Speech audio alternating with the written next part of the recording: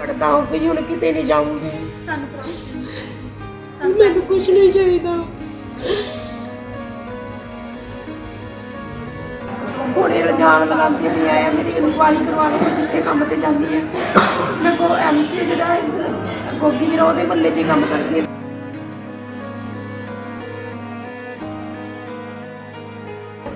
ਵਿਆਹ ਮੇਰੇ ਪੇਕੇ ਘਰੇ ਜਾ ਕੇ, ਜੈ ਮਾਲਾ, ਮਾਲ ਭਰਦੇ ਸਾਰਾ ਕੁਝ ਹੀ ਜਿਨ੍ਹਾਂ ਦੇ ਰਿਸ਼ਤੇਦਾਰ ਵੀ ਸਾਡੇ ਰਿਸ਼ਤੇਦਾਰ ਵੀ ਹੈ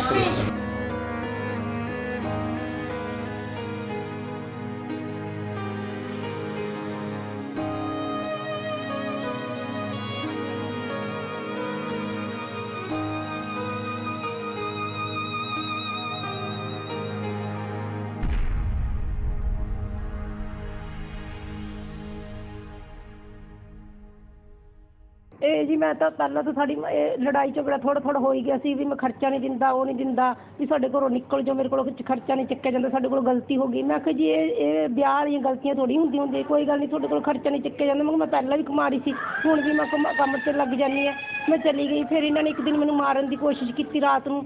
ਫਿਰ ਮੈਂ ਥਾਣੇ ਜਾ ਕੇ ਕੰਪਲੇਂਟ ਲਿਖਾਈ, ਉਹ ਕਹਿੰਦੇ, ਚਲ ਹੁਣ ਮਾਰ, ਤੂੰ ਕੀ ਚਾਹੁੰਦੀ ਹੈ? ਮੈਂ ਕਿਹਾ ਜੀ, ਮੈਂ ਇਹ ਕਹਿੰਦਾ, ਮੈਂ ਤਲਾਕ ਲੈਣਾ। ਮੈਂ ਕਿਹਾ ਜੀ, ਮੈਂ ਤਾਂ ਇਸ ਉਮਰ 'ਚ ਤਲਾਕ ਲੈਣਾ ਨਹੀਂ ਮੈਂ ਕਰਾਂਦੀ ਕਿਉਂ ਸੀ ਦੁਬਾਰੇ ਵਿਆਹ? ਫਿਰ ਕਹਿੰਦਾ, ਹੋਰ ਤੂੰ ਕੀ ਚਾਹੁੰਦੀ? ਮੈਂ ਕਿਹਾ ਜੀ, ਮੇਰੀ ਕੁੜੀ ਦੀ ਪੜ੍ਹਾਈ ਲਿਖਾਈ ਹੋਈ ਜਾਵੇ, ਮੈਨੂੰ ਹੋਰ ਕੁਝ ਨਹੀਂ ਚਾਹੀਦਾ।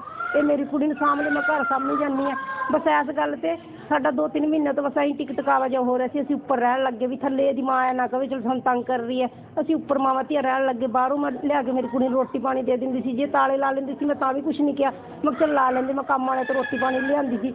ਹੁਣ ਉਸ ਗੱਲ ਤੋਂ ਸਾਰਾ ਠੀਕ ਠਾਕ ਸੀ। ਮੇਰੇ ਘਰ ਵਾਲੇ ਵੀ ਕੁਝ ਨਹੀਂ ਬੋਲਿਆ ਕਰਿਆ। ਐਤਵਾਰ ਨੂੰ ਮੈਂ ਸ਼ਾਮ ਨੂੰ ਕੰਮ ਕਰਕੇ ਘਰੇ ਆਈ ਆ।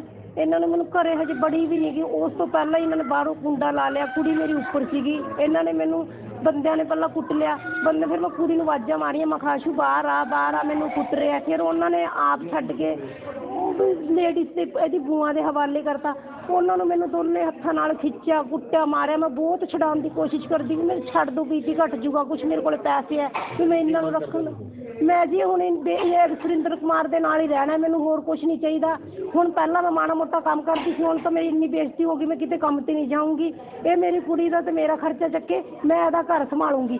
ਸਾਡੇ ਕੋਲ ਇੱਕ ਮਾਮਲਾ ਧਿਆਨ ਧਿਆਨ ਵਿੱਚ ਆਇਆ ਸੀ। ਮਰੀਕ ਸਿੰਘ ਰੋਡ ਤੇ ਇੱਕ ਪਰਿਵਾਰ ਦੇ ਦੋ ਮੈਂਬਰ ਦਾਖਲ ਹੋਏ ਸੀਗੇ। ਉਹਦੇ ਵਿੱਚ ਆਪਸੀ ਪਰਿਵਾਰ ਦੇ ਵਿੱਚ ਕਿਹੜਾ ਉਹਨਾਂ ਦਾ ਆਪਸੀ ਜਿਹੜੇ ਹੈਗੇ ਆ, ਰਹਿੰਦੇ ਨੇ, ਪਰਿਵਾਰ 'ਚ ਮੈਰਿਜ ਹੋਈ ਵੀ ਉਹਨਾਂ ਦੀ। ਤੇ ਉਹਨਾਂ ਦੀ ਕਿਸੇ ਗੱਲ ਤੋਂ ਪਰਿਵਾਰਕ ਕਲੇਸ਼ ਤੋਂ ਲੈ ਕੇ ਪੰਚਾਇਤ ਹੋਈ ਸੀਗੀ। ਉਦੋਂ ਬਾਅਦ ਉੱਥੇ ਉਹਨਾਂ ਦਾ ਝਗੜਾ ਹੋ ਗਿਆ।